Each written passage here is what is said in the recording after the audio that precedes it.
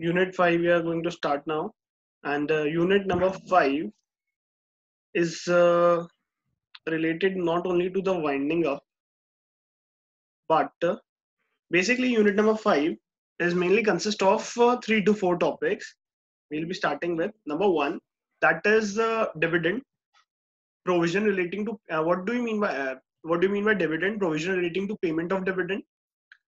The other topic is auditor what do you mean by auditor and how the appointment of auditor? It's like same as director. Director का हम लोगों ने पढ़ा था appointment of director appointment of first director और फिर उसके बाद resignation of director removal of director ये सारे जो मेजर मेजर पॉइंट्स थे डायरेक्टर के same as we will be dealing in the case of auditor ठीक है? Next we are going to deal what do you mean by the concept of winding up winding up types of winding up that is compulsory winding up voluntary winding up and winding up by the company by the tribunal. And the last that is nclt that is very basic question. What do you mean by national company law tribunal? What is its roles and functions? Clear?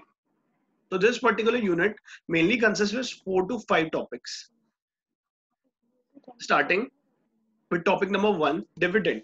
What do you know about the dividend I've already discussed in the class. What do you understand by the dividend? So the profit generated in the to the shareholder. Only, only the profits, na? Not the losses. Only the profits. That is, dividend may be defined as profit distributed by company to its members. It represents the profit which are legally available for distribution among the members. जो profit हम लोग के पास बचा हुआ है, that we gonna distribute among the members. As per section 235, dividend includes interim dividend. Interim dividend को अभी थोड़ी देर के लिए skip कर दो. जब हम लोग types of dividend पढ़ेंगे, we will do this particular topic. The article shall authorize the payment of dividend to members in proportion to the amount paid upon the share held by them. Dividend क्या होता है? That is an amount which has been paid on the share which has been taken by the particular member of the company. आपने जो भी share लिया है उसका paid up value जो भी दिया है उस पर्टिकुलर शेयर के ऊपर आपको डिविडेंड मिलेगा। Preference share holders are given priority in payment of dividend ये आप लोगों को पता है सबसे पहले डिविडेंड किसको मिलता है? प्रेफरेंस शेयर होल्डर को आफ्टर दैट अगर कोई भी डिविडेंड बच जाता है that should be given to the equity share equity shareholder. Hence, it can be said that dividend is the return on the share capital paid up by the members of the company.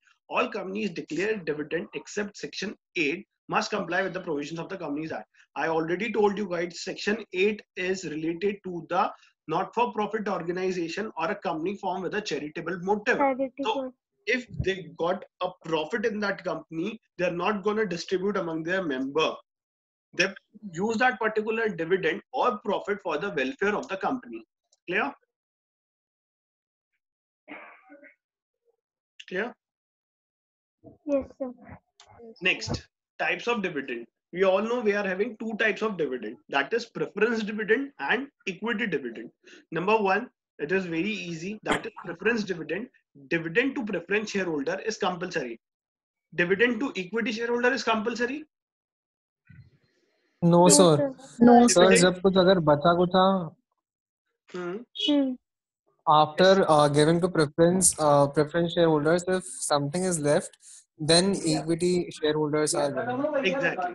एक second एक second wait करना जल्दी से जल्दी से। मेरा internet एक second hold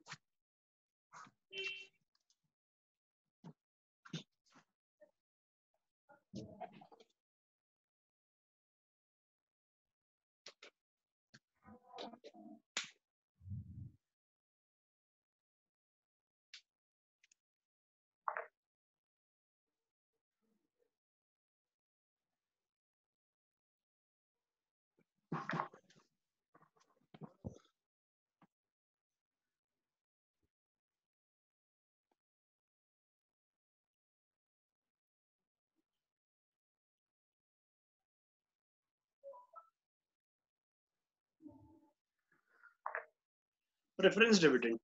So dividend to preference shareholder is compulsory, subject to the availability to of distributable profits. Preference dividend is paid before payment of equity dividend. That is clear, I guess. Dividend to preference shareholder may be paid at a fixed rate on the paid up preference share capital or a fixed amount every year. I already told you guys कि preference share holders को preference कैसे मिलता है dividend that is या तो कोई year में हम फिक्स कर देंगे that is I told you guys 15 percent पर एनम 15 परसेंट पर एनम के हिसाब से आपको फिक्स रेट पे मिलेगा रादर देन या तो फिर आप क्या होगा इधर fixed amount every calendar year एक फिक्स अमाउंट होगा, आपको वो अमाउंट देना पड़ेगा। क्लियर हुई बात? जैसे से फॉर एन एग्ज़ाम्पल जो भी डिविडेंड बनता है, हम आपको पंद्रह परसेंट दे देंगे क्या से फॉर एन एग्ज़ाम्पल हम आपको बीस हज़ार रुपए एवरी ईयर दे देंगे। तो जो भी अमाउंट कंपनी फिक्स करके रखती है, आपको वही देना पड़ता है। क्लियर हो गया? Yes. Next equity dividend Yes. dividend to equity shareholder should be recommended by the board of directors that is important that is only recommended by the board of director और ज़रूरी नहीं है कि मिलेगा ही सही and paid accordingly equity dividend are paid after distribution to preference dividend that is also clear क्या हुआ equity dividend are paid after distribution to preference dividend मैंने बताया था जो भी लेफ़्ट ओवर बच जाएगा प्रेफरेंस को देने के बाद अगर बोर्ड रिकमेंड करती है और बोर्ड विलिंग है कि आपको देना है तो ही मिलेगा वरना नहीं मिलेगा the rate of dividend to equity shareholder is not fixed and the same varies according to the availability of profit as well as board recommendation अगर profits available होगा तो ही देगा और board recommend करेगा तो ही मिलेगा कोई amount fixed नहीं है और ना ही आप claim कर सकते हो बस preference shareholder जाके claim कर सकते हैं उसके अलावा कोई भी claim नहीं कर सकता क्लियर हो गया Yes. Further, equity dividend is classified into two types. Equity dividend are of two types. Number one is final dividend and second is interim dividend. In case of final dividend, final dividend is recommended by the board at the end of financial year of the company that is 31st March every year.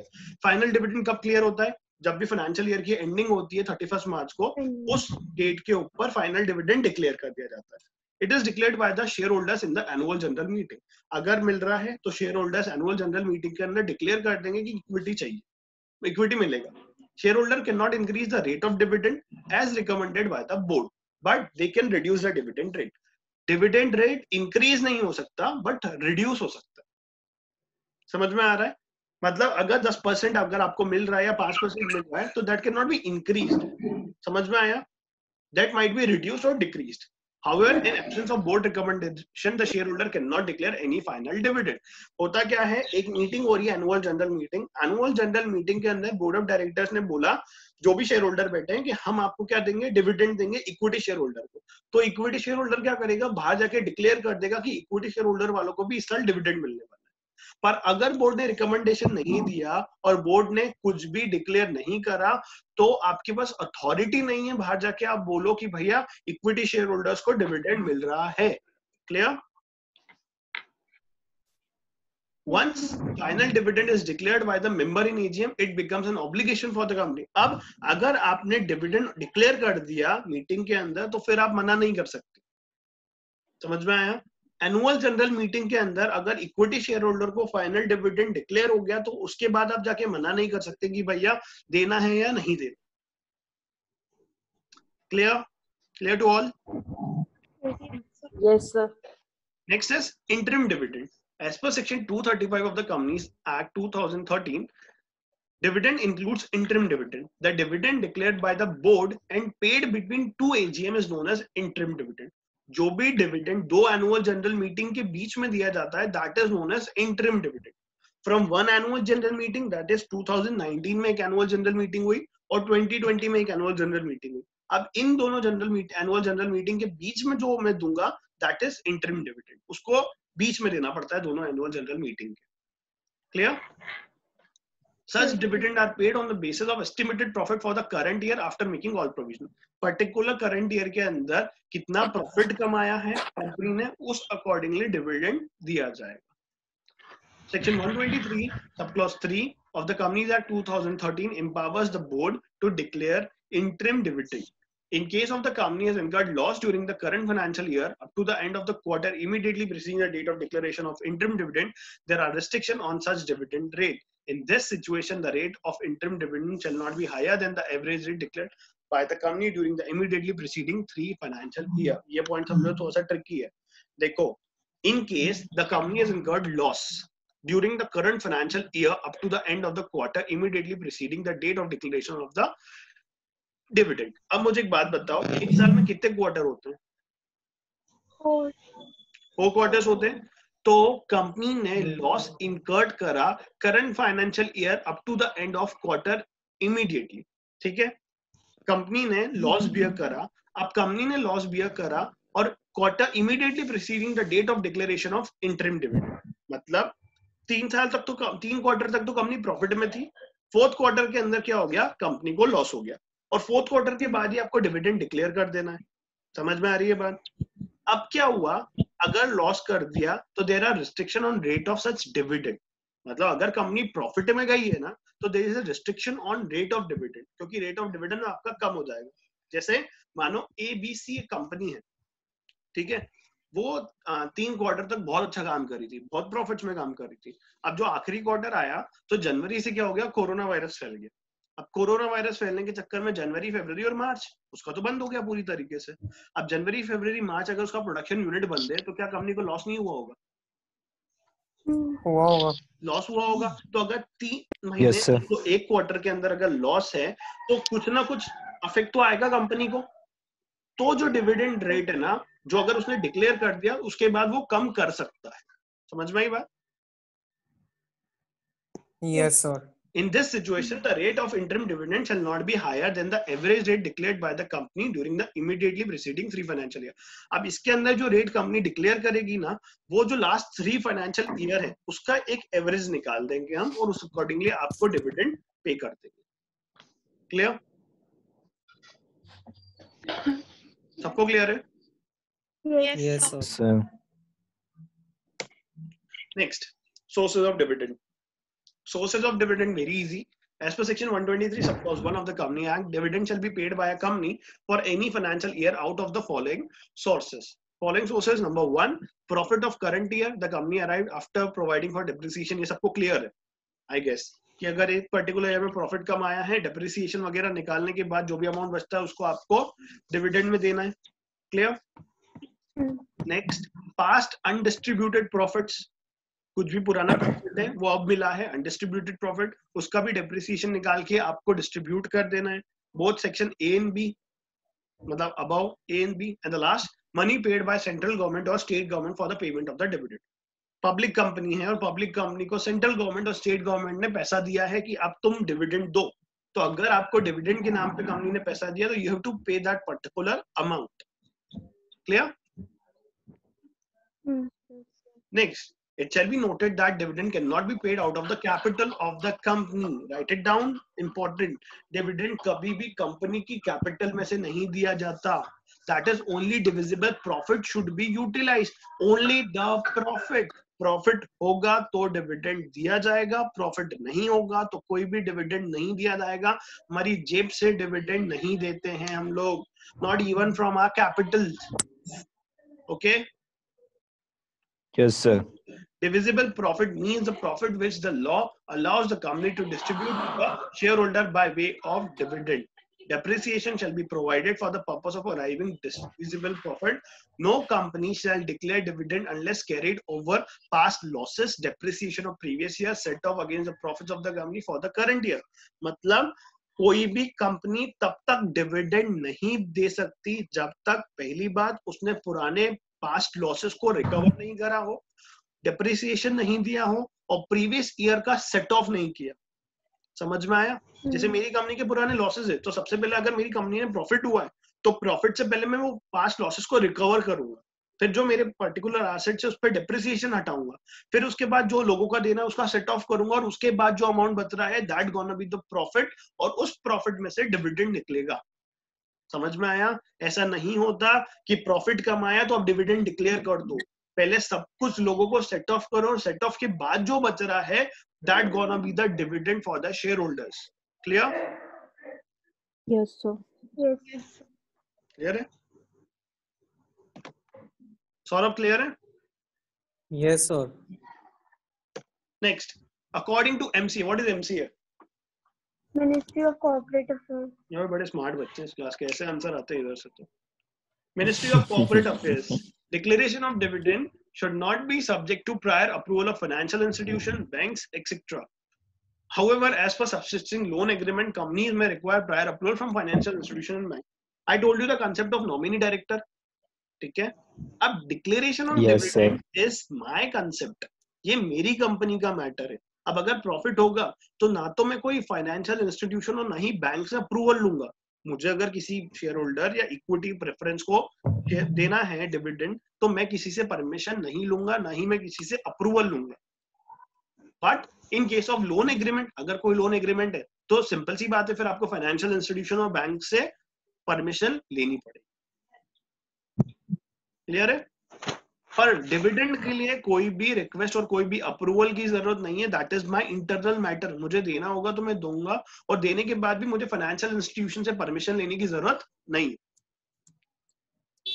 Last a company में before the declaration of any dividend in any financial year transfer such percentage of it profit for that financial year as it may consider appropriate to the reserve of the company and there is no mandatory amount of profit to be transfer to reserve prior to payment of dividend अभी मैंने last point में आपको बताया था last life में that is we do a set off मतलब पहले पास losses निकाला, फिर डिप्रिसिएशन निकाला, फिर उसके बाद सेट ऑफ़ करा, और जो अमाउंट बचा that after that we will gonna declare the dividend अब जो अमाउंट बच रहा है ना तो there might be possibility company will do company will do what company will take that particular amount और you can say transfer a small percentage amount fix नहीं है, कुछ भी स्मॉल परसेंटेज रिज़र्व में ट्रांसफ़र कर दी। जैसे सब लोगों को देने के बाद मेरी कंपनी के पास कितना बचा? दस करोड़ रुपए प्रॉफिट अब मैं दस करोड़ तो उसमें नहीं बांट दूँगा। दस करोड़ में से मैं क्या बोलूँगा? दस करोड़ में से मैं बोल दूँगा कि भैया पाँच परसेंट मैंने रिज़र्व में ट्रांसफ़र कर दिया। अब उसके बाद जो बच रहा है अमाउंट वो मैंने डिविडेंड में डिक्लेयर कर दिया। क्लियर हुआ? Yes sir. क्योंकि कंपनी अगर रिज़र्व में ट्रांसफ़र नहीं करेगी तो कंपनी काम कैसे करेगी? कंपनी को क्या प्रॉफिट हो रहा है? और सर ये जो इस हम्म। सर ये जो इस प्रेजेंटेशन में फ़र्स्ट वाला पॉइंट है ना जो थर्ड लाइन है however as per subsisting loan agreement तो ये सब लोन एग्रीमेंट कौन सी क्या चीज़ है लोन एग्रीमेंट क्या होता है? जैसे मुझे कहीं किसी से लोन लिया मैंने या मैंने बैंक से लोन लिया तो बैंक से तो फिर अप्रूवल की अप्रूवल की ज़रूरत पड़ेगी ना सौरभ? हाँ। जैसे कि क्या हुआ? डिविडेंड डिक्लेयर करना है तो डिविडेंड डिक्लेयर करने के अंदर मुझे अप्रूवल की ज़रूरत नहीं है। पर अगर मैं बैंक से लोन ले रहा हूँ या मैं किसी और दूसरे फाइनेंशियल इंस्टीट्यूशन या किसी पर्टिकुलर पर्सन से लोन ले रहा हूँ तो फिर उसे उसके लिए मुझे फाइनेंशियल इंस्टीट्यूशन बैंक से अप्रूवल लेना पड़ेगा कि क्या मैं ले सकता हूँ या नहीं ले सकता अच्छा। क्योंकि at the end of the day मुझे वो लोन रीपे तो करना पड़ेगा ना और वो रीपे कहाँ होगा? उस पर्टिकुलर इंस्टीट्यूशन या बैंक में ही होगा। हम्म। क्लियर हो गया? यस सर पॉइंट भी क्लियर है सबको? Yes sir Next, dividend payment provision. Dividend payment provision that is important topic. How dividend payment works? कैसे provision? What are the provisions of payment of dividend? पहली बात final dividend और interim dividend once declared cannot be revoked except with the consent of the shareholder. अगर एक बार declare कर दिया है तो cancel नहीं कर सकते until and unless जब तक shareholder की consent नहीं हो. Next, Section 123 subclause 4, the dividend amount shall be deposited in a separate bank account in a scheduled bank with five days from the date of declaration.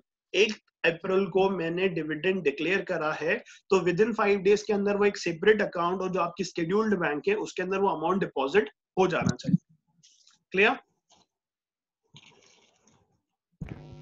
Clear है next dividend shall be payable only to the registered member as on record जो record में है, सिर्फ़ वही है। जो भी मेरी कंपनी का शेयर होल्डर है, जो भी मेरी कंपनी का रजिस्टर्ड मेंबर है ऑन रिकॉर्ड खाली उसी को डिविडेंड दूँगा। लेकिन if an instrument of transfer is received by a company for registration and not yet registered then dividend shall be paid to the transfer if approved by the transfer else dividend transfer to unpaid dividend account अब क्या होता है? एक example समझना। स्वस्ति है और सौरभ है, ठीक है? स्वस्ति क्या है? स्वस्ति एक रजिस्टर्ड मेंबर है मेरी कंपनी की, ठीक है? मेरी कंपनी ने डिविडेंड डिक्लेयर करा। मेरी कंपनी ने जब डिविडेंड डिक्लेयर करा तो क्या हुआ? स्वस्ति अगर रजिस्टर्ड मेंबर है ऑन रिकॉर्ड भी है तो स्वस्ति को डिविडेंड मिल जाएगा। On the other hand second example में क्या होता है? सौरभ है। सौरभ क्या करता है? सौरभ को अमाउंट चाहिए होता है। सौरभ मेरे पास आता है कि sir I am a registered member I want to be a registered member of the company तो आप मेरा रजिस्ट्रेशन करो। लेकिन due to some particular reason या मैं भूल गया मैंने सौरभ का रजिस्ट्रेशन नहीं करा तो फिर मुझे सौरभ को भी डिविडेंड देना पड़ेगा क्योंकि इस पर्टिकुलर केस में कंपनी का फॉल्ट है। Hmm. समझ में आया? Yes. yes sir. पर अगर सौरभ भी नहीं दे रहा है तो वो जो डिविडेंड है, वो अनपेड डिविडेंड अकाउंट के अंदर चले जाएगा। अगर मुझे पता नहीं चल रहा ना कि कौन बंदा है, क्या है, किसी का पैसा डूबता नहीं है समझना अब जैसे सौरभ है, तीन एग्ज़ाम्पल पहले स्वस्ति का समझ में आ गया, दूसरे केस में क्या हुआ, सौरभ को मैंने रजिस्टर नहीं करा तो तो देना पड़ेगा। और थर्ड केस में सौरभ रजिस्टर कराना भूल गया तो सौरभ जब रजिस्टर कराएगा, वो अमाउंट अनपेड डिविडेंड अकाउंट से निकल के सौरभ के पास चले जाएगा। Clear next bonus share in lieu of dividend is not permitted simple point है। आप डिविडेंड की जगह डिविडेंड ही दोगे बोनस शेयर इशू नहीं कर सकते। That is not a permission मतलब अगर डिविडेंड डिक्लेयर हुआ है तो डिविडेंड दो बोनस शेयर डिविडेंड की जगह देके काम नहीं खत्म कर सकते। Next payment of dividend include payment by cash cheque warrant demand draft electronic board हम सब तरह से पेमेंट करते हैं। चेक पेटीएम जीपे ऑनलाइन सब ले लेंगे हम, ठीक है? The posting of cheque DD is equivalent to actual payment whether the member receives it और नॉट हमने अगर चेक भेज दिया है डीडी दे दी है तो कंपनी की साइड से काम खत्म हो गया और मेंबर जब रिसीव करेगा, तब पूरा का पूरा ट्रांजैक्शन ही खत्म हो जाएगा। डिविडेंड वारंट ये थोड़ा सा समझना ये थोड़ा सा ट्रिकी है. That is dividend warrant is an order by a company to its banker to pay the amount specified therein to the shareholder whose name is written therein. It's like a bills of exchange. Dividend warrant एक warrant होता है, उसके ऊपर मैंने नाम लिख दिया, भैया सौरभ दीक्षित. स्पेसिफाइड कर दिया नाम सौरभ दीक्षित. और उसके साथ मैंने अमाउंट लिख दिया. ठीक है? तो a company to its banker to pay the amount specified Saurabh Dikshit amount कितना सौरभ दीक्षित को इक्विटी शेयर होल्डर इतने सारी इक्विटी है तो सौरभ को दे दो नौ हज़ार रुपए ठीक है सौरभ जाएगा बैंक में बैंक को वो डिविडेंड वारंट दिखाएगा और बैंक उसको पैसा देगा समझ में आया yes sir Yes. However, if dividend warrant does not reach the registered shareholder, it can be encased by any unauthorized person and the company shall be liable for the losses. समझ में आया sir last Yes. Point एक बार explain sir. कर दीजिए dividend sir warrant एक बार फिर से लास्ट पॉइंट एक बार एक्सप्लेन कर Yes, sir, डिविडेंड वारंट क्या होता है? डिविडेंड वारंट क्या होता है? Dividend warrant is an order by a company to its banker to pay the amount specified therein on the share holder whose return therein क्या होता है? जैसे एक पर्टिकुलर एक डॉक्यूमेंट है। बिल्स ऑफ़ एक्सचेंज होता है ना? जैसे भैया मैंने उसमें नाम लिख दिया शौर्य का या श्रेय का। तो ये क्या हो गया? बिल्स ऑफ़ एक्सचेंज में नाम लिख दिया और उस पर्टिकुलर आदमी को अमाउंट मिल जाता है। तो डिविडेंड वारंट भी ऐसा ही होता है। डिविडेंड वारंट में क्या होता है? डिविडेंड वारंट में हम लोग जैसे मैंने नाम लिख दिया सौरभ का डिविडेंड वारंट के अंदर और लिख दिया कि इसको नाइन थाउज़ेंड रुपीज़ दो सौरभ को मैंने वो वारंट दिया सौरभ जाके अगर बैंक में दे देगा तो बैंक उसको पैसा दे देगी क्लियर है Yes, sir. However, if Yes, sir. dividend warrant does not reach the registered shareholder, it can be encashed by unauthorized person and the company shall be liable for the loss. अगर किसी unauthorized person ने इस particular को निकाल लिया, that is dividend warrant को, तो company की liability बनेगी. समझ में आ रही है बात? जैसे डिविडेंड वारंट सौरभ को देना था और उसकी जगह शिखर के पास चला गया और शिखर ने जाके वो अमाउंट इन कैश करा लिया तो मेरी लाइबिलिटी है सौरभ की लाइबिलिटी नहीं है मुझे सौरभ को तो पैसा देना ही देना है। Yes. बिल्कुल देना पड़ेगा सर। यार देना ही पड़ेगा मेरे को तो। तो लेके भाग गया Last, dividend once declared must be paid within 30 days from the date of declaration of dividend. अगर dividend एक बार declare कर दिया, you should be paying that particular amount within 30 days from the date of declaration. Okay. Yes. sir. Next, and the last topic, punishment for failure. Punishment for failure. What? Punishment for failure of payment of dividend. अगर dividend नहीं दिया तो what gonna be the punishment? As per section 127 of the Company Act 2013, when dividend has been declared by a company, it has to be paid within 30 days from the date of declaration. अभी last point में भी हमने यही पढ़ा हाँ.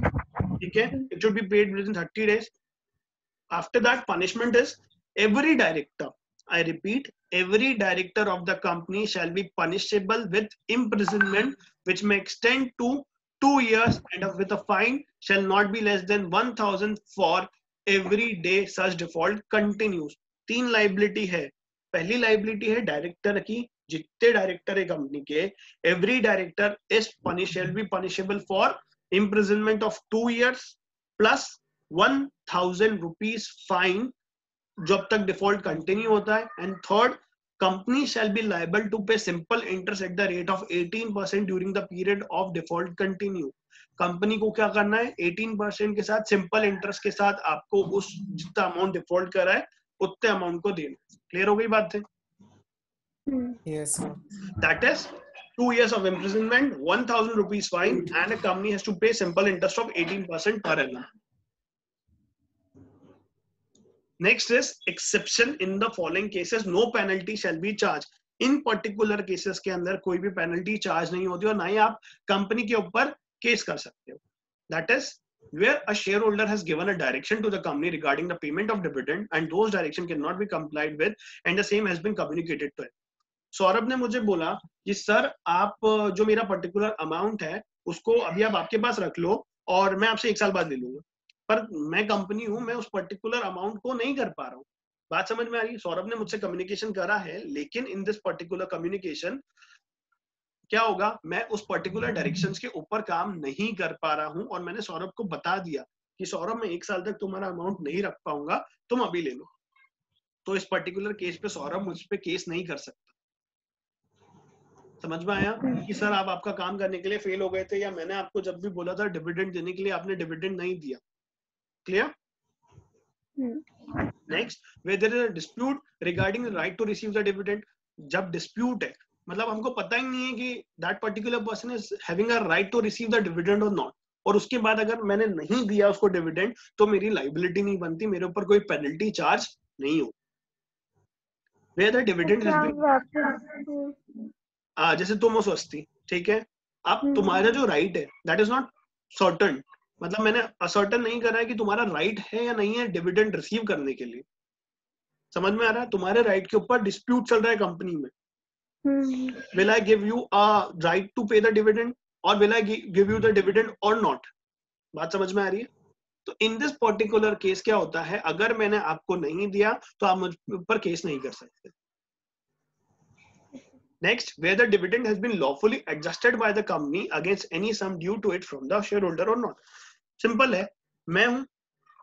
आप आपका जो भी अमाउंट बन रहा है डिविडेंड का आप से फॉर एन एग्जांपल आपका वन थाउज़ेंड रुपीज़ बन रहा है डिविडेंड के लिए। और आपने क्या करा?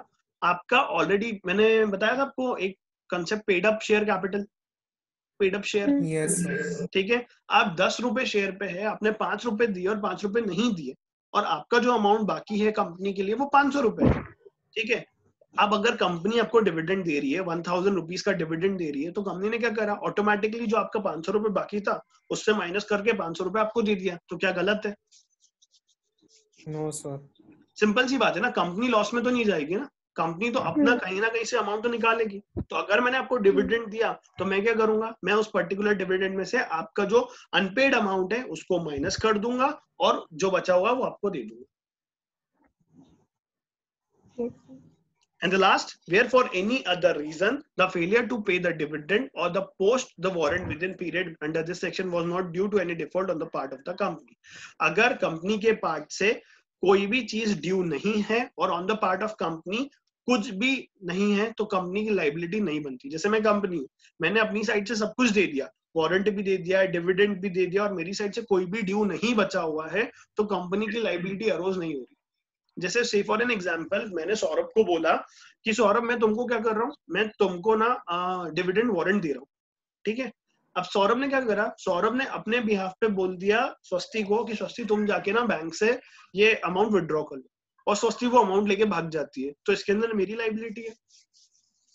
No, sir. नहीं सर समझ में आया? इस पर्टिकुलर पॉइंट पे सौरभ मुझसे नहीं बोल सकता कि सर मैंने इन कैश के लिए दिया था। इसमें तुम्हारा पर्सनल मैटर है। कंपनी ने क्या करा? कंपनी की जितनी लाइबिलिटी थी जितना अमाउंट ड्यू था वो दे के बात खत्म कर दी। समझ में आया? यस सर सबको क्लियर हो गया. Yes, sir. इजी है कोई डाउट है किसी भी पॉइंट पे मैं एक बार और स्लाइड्स घुमा रहा हूँ समझ लो। इस स्लाइड में कोई डाउट है? सिनॉप्सिस में कोई डाउट है? Sir. No, Meaning? sir. Types of dividend नहीं फाइनल इंटरिम डिविडेंड नहीं sir sources? Dividend payment provision and punishment for failure. Clear है सबको? किसी को कोई डाउट आया अभी तक? आना भी नहीं